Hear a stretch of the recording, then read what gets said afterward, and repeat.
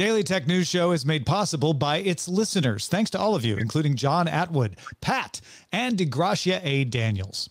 Coming up on DTNS, why can't our phones be actually waterproof? YouTube's new tools to fight comment spam, and channel channel imitators and third-party payments come to the Apple Store in Korea.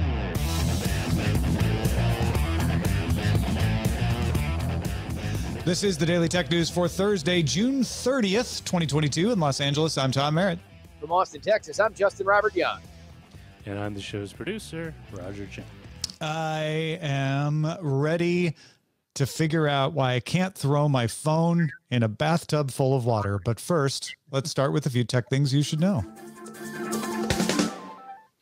ARM announced its latest CPU core designs, the high performance Cortex X3 and medium core Cortex A715. ARM's proposed design for SoCs would have one Cortex X3 core, three A715 cores, and four efficiency, Cortex A510 cores. ARM says the X3 will offer 25% better performance than the outgoing X2, with the A715 offering performance like the Cortex X1 core from 2020, with 20% more energy efficiency and 5% better performance than the outgoing A710. The A715 drops 32 bit support, meaning flagship systems on chips based on ARM's reference design would be 64 bit only. The NFT marketplace OpenSea warned users that a staffer at the email vendor, uh, vendor customer.io misused employee access to download and share email addresses of its users to an unauthorized third party. OpenSea said that if you ever shared an email with it in the past, quote, you should assume that you've been impacted. Customer.io said it did not believe any other client data has been compromised. Samsung began mass producing chips using its 3 nanometer process, reaching production ahead of rival TSMC. Samsung said the process reduces power usage by 45% and improves performance by 23% compared to its 5 nanometer process. No word on which customer will receive these initial chips. Samsung says they were for a high performance, low power computing application. Google is updating the Chrome password manager so that it syncs with Android's password manager. There will now be a single page to manage both at passwords.google. And Google's switch to Android app for iOS now works for all Android 12 phones, not just the Pixel. Hmm. Researchers at Lumen Technologies Black Lotus Labs detailed a highly sophisticated custom built malware called ZuoRat infecting small office and home routers from Cisco, Netgear, Asus, and DrayTek. Once infected, ZuoRat finds all connected devices with the threat actor using DNS and HTTP hijacking to install other malware on, with custom malware able to target Windows, Linux, and Mac OS. Researchers say ZuoRat's structure appears intentionally complex. Combined with being highly targeted against U.S. and Western European organizations, it indicates the capabilities of a state sponsored actor. So, uh, as always, make sure you're up to date on your patches. And if you're infected, reboot your machine. That, that if you reboot the router, that'll get rid of the malware. Though a full factory reset is recommended for full recovery. All right, Justin, tell us what is up with Apple. Oh, that rascally company, Apple. Well, they have uh, another policy proposal for allowing third party payments on iOS apps. So, to catch you up, Apple is facing various pressures to allow third party payments for apps in its iOS App Store. In the US, a court ruled that Apple had to allow, quote, buttons, external links, or other calls to action that direct customers to purchase mechanisms. The wording on that is vague, and the final word on it is yet to come as Apple appealed that part of the case and was now granted a stay on implementing it back on December 8th. Apple has been in a back and forth with Dutch regulators about allowing dating apps to use the third party payment system. Apple gives those developers a 3% discount on App Store fees, so they still have to pay Apple's 27% or 12%, depending on where they fall in the policy. But the biggest effort comes to us from South Korea, which passed a law last August aimed at Google, but requires all mobile app stores of a certain size to allow third party payment systems, which pretty much brings us up to now, right, Tom? Yeah, Apple announced Thursday its latest proposed policy that allows Korean App Store apps to implement third party payment. A developer who wants to take advantage of that must fill out a form, and the payment processors must meet certain criteria for reliability. Uh, Apple recommends that you use one of the following like whitelisted companies: KCP, Inicis, Toss, and NICE as pre approved payment processors that will pass inspection. If you implement a third party system, you cannot also offer Apple's in app systems. You have to choose. Uh, there's also some language that must show up in the app advising users they are not using Apple's system. So some features like family sharing aren't going to work if you use a third party payment processor. And developers have to agree that they will handle all requests for refunds and subscription management. A new binary must be submitted for distribution in the Korean store, uh, which is similar to what they did for the Dutch dating apps as well. And developers get a little more discount in Korea than they do in the Netherlands 4% off of payments. Uh, but that means if they would normally give Apple 30% of their cut, uh, if they use the third party payment system, they give Apple 26%. And we should know that this policy must be approved by the Korean Communication Commission, the KCC, which previously expressed criticism at Apple for still keeping such a large portion of payments. Yeah. So, I mean, this is just kind of an update for everybody. If you're wondering, like, okay, so where are we with Apple allowing third party payments? How's it going to work? Uh, you know, now that we've seen the Netherlands system, which is limited to just the dating apps because of some quirks in the way they're applying regulatory frameworks there. But we're also seeing the Korean one, and it's going to be somewhere around 26 to 27%. You still have to pay Apple in order to be listed in the store. Uh, and then this whitelisting of payment processors, I think, is probably a, a, smart way to go about that to say, like, we want to make sure we're regulating these to be reliable ways of paying because people are going to complain to Apple no matter what. Uh, so here are some ones we know meet our criteria. Not only meet our criteria, but I believe we are seeing the future of where this problem is going to go for them. Sure, you can use a third party payment system but we're going to discourage you against rolling your own so you can keep a even larger share of the profits and we are going to recommend that you use these trusted vendors. At that point i would not be shocked considering apple is making sure that you know that there are certain ancillary features that you will not get access to if you don't use apple's own proprietary system wouldn't be shocked if going forward that maybe these trusted vendors make another deal with Apple so you can include more of these kinds of features when you use them if you want to use them. I think this is Apple shoring up their ability that they still would be able to to wet their beak, so to speak. Yeah, and I, I think to a certain extent it's justified for Apple to say we are operating the App Store. We don't charge a listing fee for that. Yeah. Uh, so this is the way we have chosen to recover the cost uh, because we let people list for free. Uh, we're going to take a chunk. You can argue whether it should be 30%, 15%, 26%. Uh, you know, those numbers, that's up for argument. But, but yeah, they, they are going, this is the route they've chosen to fund development of the App Store. And of course, there's no way that they are going to make any move on this until they absolutely legally have to, because they are exactly what the law is country by country, and they are going to work their best magic around that law and it just makes sense for them to do so. Oh man, wouldn't it be something though if, if Apple just said, you know what, we're tired. We're tired of fighting. Like like they would wait for all the legal processes to play out. But if they were just like, we're just gonna make a new policy for everybody. Here you go. Sorry, everybody. Mm. Yeah, but every second they wait, that sweet 30% cut just keeps on coming in. Keeps on coming. What if they start to realize though that like, oh wait, if we let Netflix do this and we give them 20%, though, then we get the Netflix money, which we're not getting any of right now. Well, that I think is is is probably continuing to to be uh, to be figured out. Yeah. Uh, well, YouTube announced some new policies to try to fight comment spam and channel imitators. Uh, comment spam uh, is going to get combated by letting creators select increase strictness. This isn't even a new option. It's a check mark under the existing option, hold all potentially inappropriate comments for review.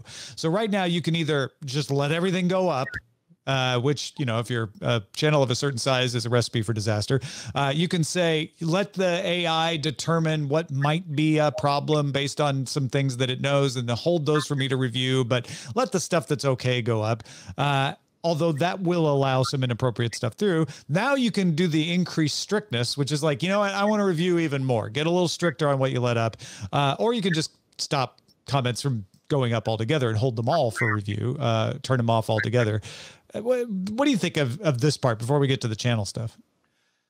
I actually think that it's, I mean, it's an interesting way for them to solve that. Obviously, YouTube is a user base that is wide and varied. And so they need to keep their solutions as simple as possible. But man, I actually, in reading this, was thinking I would love to see more control in granularity of how you control your comments. I think it would be it would behoove the YouTube community if on your channel you could do a video that says, "Hey, from here on out, we're only going to do, or maybe video by video, I'm only going to do five word comments on this."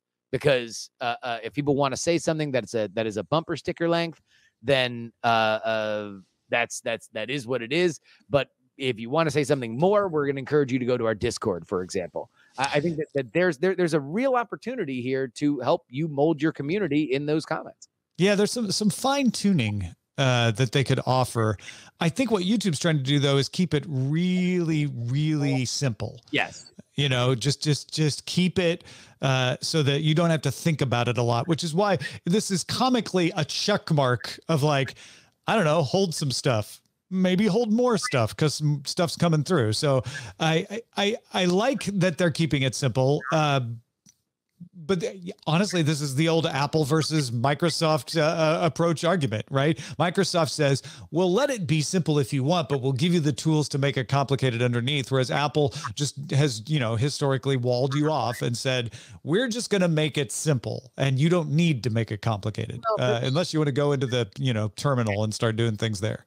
But you, you want to know what I, I would almost say in the world of of community of digital community then this is you know a, a, a, Twitter versus Reddit or something like that. Uh, Reddit offers a lot of moderation tools mm-hmm. how you can communicate, uh, both that are policed by mods and that are done automatically. And I, I, think YouTube, look, they are of a certain size, and and creators have built communities that deserve those those uh, those tools in my no that, that's a good that's a good allegory thank thank you for bringing the allegory into the 21st century yeah there we go it's only 20 years old as opposed to uh, all right let's talk about the channel thing as of july 29th channels will not be allowed to hide their subscriber counts now youtube acknowledged in the in the post about this that some smaller channels hide their subscriber counts so they don't look unpopular because if people don't know then they may be more likely to subscribe but uh, scammers and imitators use that to their advantage too. So they try to trick viewers into thinking they're a larger channel. Often, what they'll do is use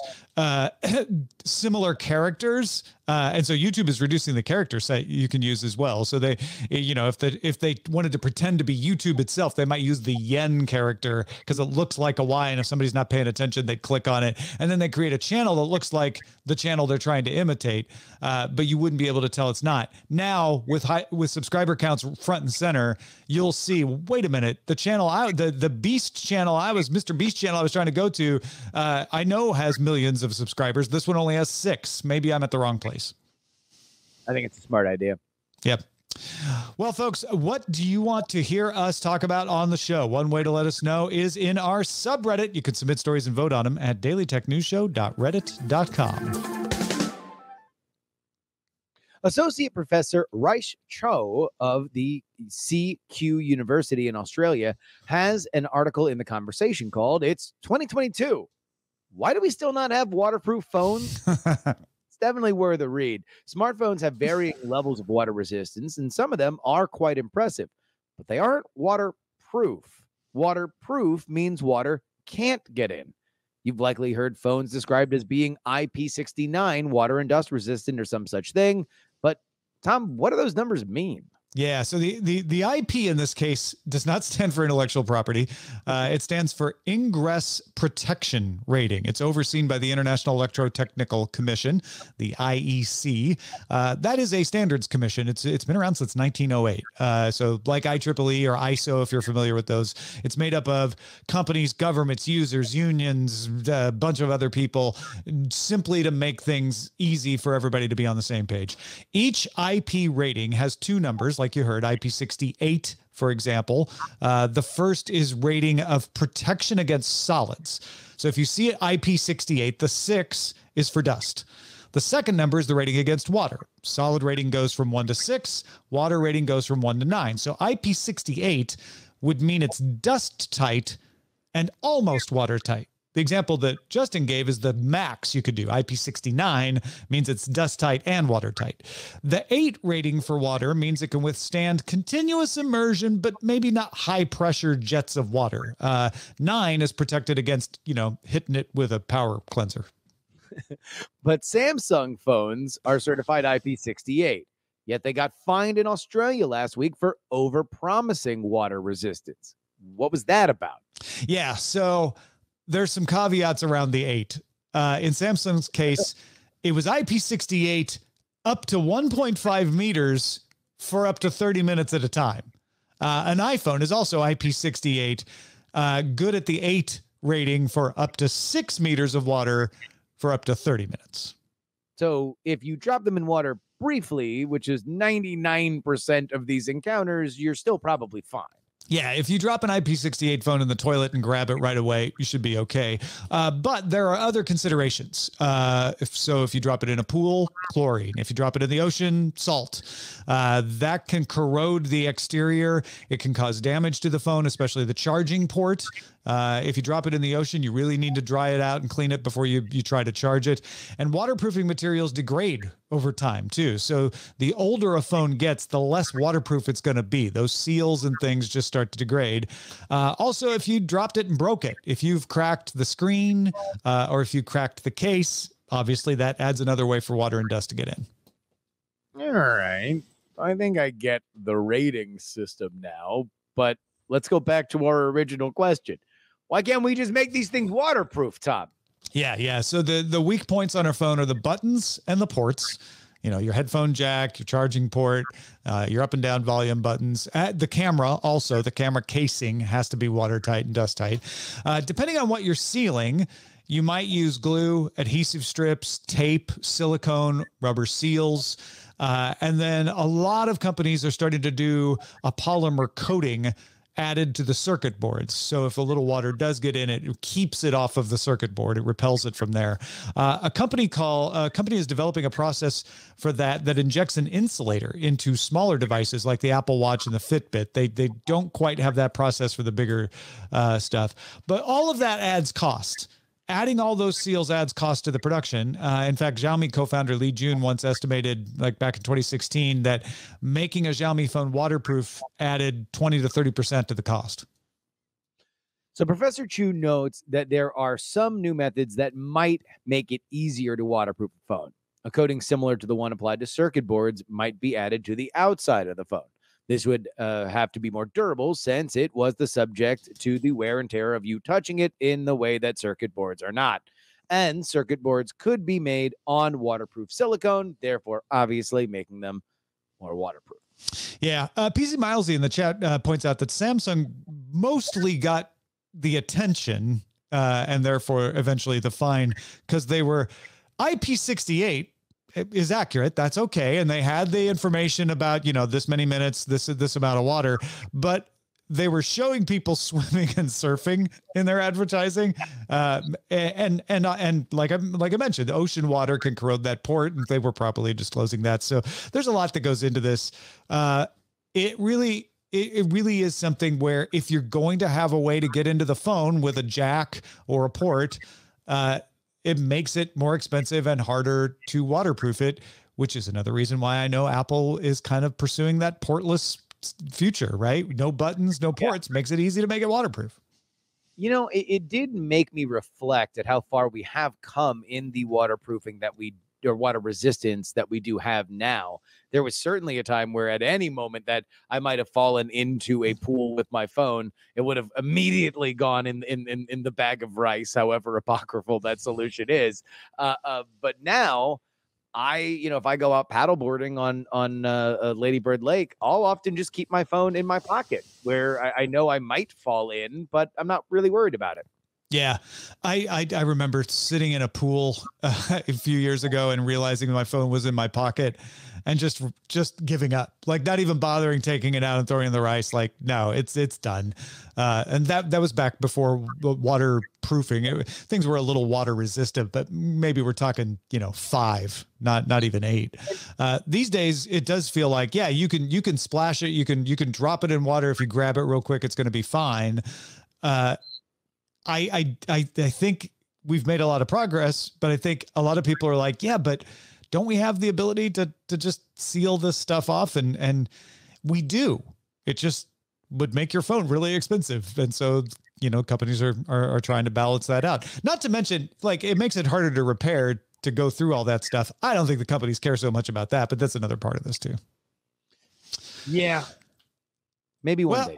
Maybe one day. Maybe one day. Uh, one day we're gonna have robot umpires. That would be umpires that are actually robots. That day is not coming soon. But a lot of people use the term robot umpers, umpires uh, to refer to using algorithms uh, to aid in calling balls and strikes. We talked about this on May 31st on the show. We'll have a link to that show in the show notes if you want to get the full discussion about how that all works. But we have an update. Baseball Commissioner Rob Manfred told ESPN this week that he wants the automated ball strike system, as they call it, implemented in 2024. So he's got to get the players on board. He's got to get the fans on board. He's got two years to do it. Uh, a fully automated system would, if you didn't listen to that May 31st show, send the call to the umpire over an iPhone and then he would say it out loud. Uh, they're, they're trying that in the minor leagues right now. Um, they might do it that way in Major League Baseball, but but the Verge pointed out the other option they have would be to make it an appealable thing. So the the humans would keep calling balls and strikes, but Yeah. you would have a certain number of challenges every game to say, I think that was outside, and then the algorithm would weigh in and have the final word. And that's effectively what they do in tennis, right? Like Right. that is called by a line judge, and then you can appeal that, and then they will show the the motion graphic of exactly where the computer said it hit, which I, I think is is good. Uh, uh, but boy, Tom, you know you're you, you're you're a fan of baseball. Uh, this this league, man, they they love doing things about five six years after it would have made sense to really do it when people were paying attention, huh? yeah, I mean, never. I, I am not a big fan of the why didn't you do this before criticism because it usually comes when they've done something. Uh, Yes. You know, and it's like, well, they're doing it now. Okay, they didn't do it before. The past is the past. I go- I go all Mark McGwire on it, but, uh, but I do like this. I do like this because balls and strikes shouldn't be subjective. I know some people argue like, "Oh, it's the beauty of the game. You get used to the umpire and everybody's on the same page." Hey, how about this? How about if everybody's on the same page all the time at every game? Like I, I I'm not going to rule out the fact that different stadiums, even if it's just psychological, not real, might be perceived as having different strike zones. I almost guarantee you that's going to happen. Well, that strike zone at uh, Coors Field is a, li- a little wider, but it would be great if you didn't have to guess every time, like who's behind the plate. You know, I, I do think it would regulate the umpire strike zone into something a little bit more normal if they knew they were going to be embarrassed by a challenge call. It's actually an interesting strategy thing. yeah, yeah, yeah, agreed. Take a look at our mailbag. Uh, Big Jim, the trade nerd, wrote some excellent additional insight in our Discord related to the story on shipping from Bloomberg that we talked about on Wednesday. Jim writes regarding security risks. Some of the top ocean lines in your company, or uh, some of the top ocean line in your company, are working to try to secure their internal networks, including shipboard uh, operations. However, the majority of those ocean providers that we have now are using leased vessels, and those leased charter operations ne- do not necessarily follow the direct guidelines as an owner vessel by the carrier. There's also a question of which standards are they supposed to follow outside the country's waters when it comes to specific lockdown of data. The WTO statement and their guidelines are very basic at best. The World Shipping Council has advised stringent requirements that go beyond the WTO requirements, and I would expect that those are going to be more likely followed as it is a US and European group. Now, couple this with the current labor negotiations going on on the West Coast, rail negotiations breaking down across the United States, a backlog of cargo that needs to move inland so much so that certain container ports have an excess of 5 to 10,000 containers that cannot move inland because of shortages of various types, mixing in a hint of hacker and you've got a wonderful recipe for disaster. But hey, who knows? Just my two cents. Ah, yeah, that was a good. That was a good imitation of of Big Jim's. That's just my two cents there at the end. Uh, thank you, Jim. Uh, he wrote all that and more uh, in the general channel of the DTNS Discord if you want to go and, and read that and uh, ask him some questions about it too. I, am sure he'd be happy to answer. Also, Bodie, uh, who, who is a uh, uh, uh, has a his own kilowatt uh, podcast about electric vehicles. Loved the discussion on the cost of electric vehicles. We had a Monday show. Uh, wrote earlier this month, Ford's president and CEO Jim Farley was interviewed at the Bernstein 38th Annual Strategic Decisions Conference. Farley thinks that we're going to see a price war in the EV space at the $25,000 price point with a vehicle build around $18,000. Ford and other automakers will compete on the initial price on the vehicle but use a form of shared vehicle ownership and software upgrades and or services to sweeten their profits. If you don't know what that means, shared vehicle doesn't mean you like you and five people own it. Uh, it's kind of like what Tesla does with their full self-driving where you pay $12,000 to access the feature enhanced autopilot uh, just came back for $6,000. Uh, Bodie says, I was pleased to hear Sarah, Rich, and Roger talk about the Chevy Bolt as an alternative to more expensive EVs. The Bolt is a good offering. And with the 2023 Chevy Bolt having an estimated range of 259 miles and an MSRP of $25,600, this would be a pretty sweet option for someone wanting to get into an EV without paying a ton of money. Having said all that, if the Bolt doesn't light your fire, Bodie's got two other EVs in the twenty-five to thirty thousand dollar price range for you to consider. The 2002 or the 2022, not 2002, 2022 Nissan Leaf S range of 149 miles, MSRP of 27,800, and the 2023 Mini Cooper will have a very modest range of 110 miles, but if you just need to get around town, that's plenty, and cost you 30,750 according to Car and Driver. Thank you, Bodie, for that. Appreciate the extra info. Thanks, Bodes. Yeah, uh, and and I really needed to get below twenty thousand myself. I I thought about buying a used Leaf because I could get it for below twenty thousand, but then I I read that some of those older Leafs that you buy used, uh, you know, had battery issues, and when you're buying them used, the battery's already old, so if they're gonna have battery issues, it's more likely.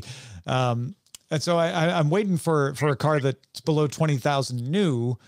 Uh, well Actually, these days I'll just buy it new because used cars are right now more expensive than exactly. than new yeah, cars. Yeah. But yeah, if we ever go back to a world where used cars are cheaper, then I'd buy the cheaper one. Maybe one day, Tom. Maybe one day. Uh, well, th- uh, Justin, I would normally let you talk about something you've got going on, but do you mind if I say something I've got going on first? Do go, sir. This was uh, partially named by you uh, it was a brainstorming session with you that that where where we came up with the name "A Word with Tom Merritt." Uh, I'm going to do a talk show. Uh, it's me and a guest. Uh, using a single word to launch a conversation about how we think about what the world, not what we think. Not this isn't a deep dive explanation. This is a conversation about how do we deal with all the information out there. Uh, my first guest will be tomorrow, Andrew Heaton talking about the word tribalism. And you can go subscribe to it in all of your favorite podcast uh, apps or go directly to a wordpodcast.com. That is a wordpodcast.com. Uh, go check it out. Let me know what you think. Two of my favorite erudite, tall, bearded co-hosts. You and yes, I pr- I promise that that the guests will get progressively less like me as the show continues. But uh, well, speaking of Andrew Heaton, he's also on a show that I do. He is a permanent co-host on We're Not Wrong, featuring myself and Jen Briney. In the episode that just came out today, we talk about the idea of the Ill- illegitimate Supreme Court, the testimony in the January 6 hearings, and the summer of pain at the airport, and whether or not we are going to see airline CEOs in front of Congress before the end of the summer something that you will might want to listen to when you're delayed at an airport during July 4th weekend, which is coming up.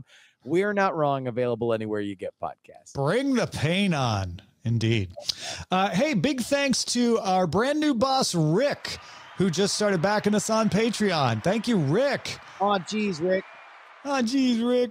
Uh, maybe Morty will be tomorrow. But for now, we're very happy to have Rick. Thank you, Rick. Uh, uh, if you're Morty or someone else, uh, go back to patreon.com slash DTNS and you could be featured on tomorrow's show, as well as get all the perks and cool things that come uh, with with getting the patron, uh, including like a direct feed. I had an editor's desk today for the folks at the associate producer level and up, talking about my new mixer and all that sort of stuff.